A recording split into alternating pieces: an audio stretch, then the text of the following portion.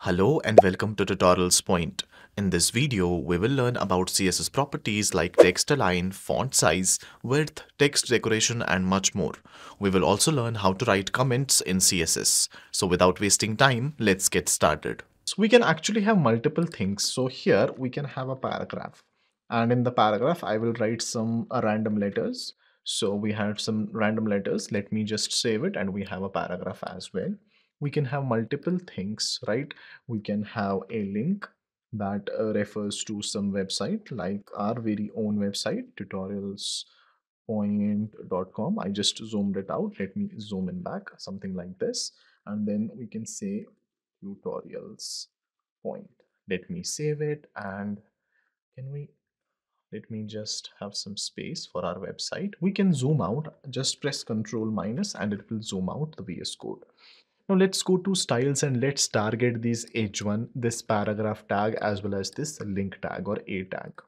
Now for the h1, as you can see, it is red color. Why? Because I told you the internal CSS is being preferred. So let me just remove it. We are going to use external CSS because it is much preferred, but you can always use between the three. So let me just save it and the color is this one. Next, we can have multiple styles. For example, another thing is for this H1, I want it to be aligned to the center of the web page. For that, there is a property called as text align and I'll write center. When I save it, as you can see, Hello YouTube is in the center of our web page. Similarly, let us target our paragraph. So I'll write P, which stands for paragraph, and then curly braces. Inside the curly braces, we can have multiple properties. For example, I would like to change the font size. Let me zoom in. I would like to change the font size for this and let's make it 30 pixels. Once I save it, as you can see, the paragraph becomes huge because it's 30 pixels right we can also do multiple things we can uh, say text align let me just zoom in back we can say text align and the text align let it be justify and when I click save as you can see the text will be justified something like this.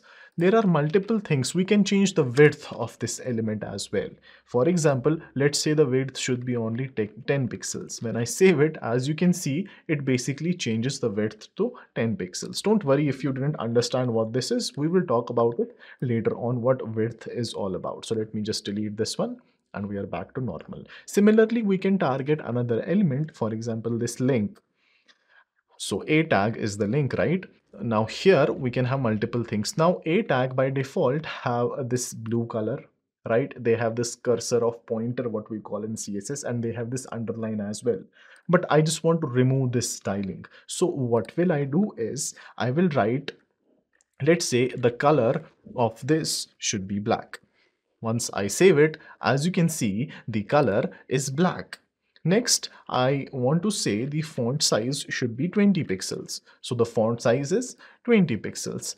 Next, for the links, we know that there is this underline by default. We want to remove it and to remove it, there is a property that is called as text uh, decoration and we will set this text decoration to none. And when I save it as you can see the underline is gone. But the link is still working. If I click on it it will take me to tutorials point website. Alright let's go back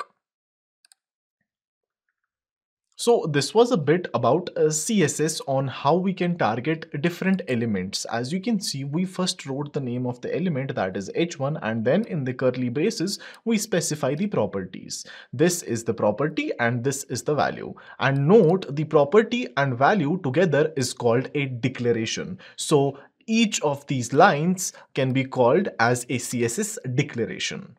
Also, I would like to emphasize how we can use comments in CSS. For example, I'll write a simple comment.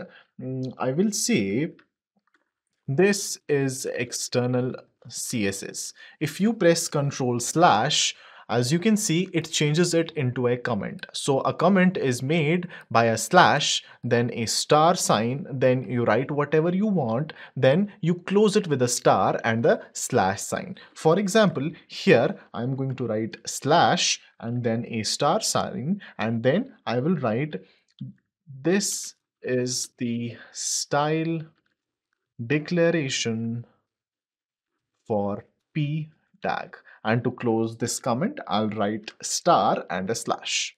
Something like this. If I save it, nothing happens. That will be enough for this video. In the next video, we will learn about CSS selectors. So make sure to subscribe to the channel, hit that like button and I will see you in the next video.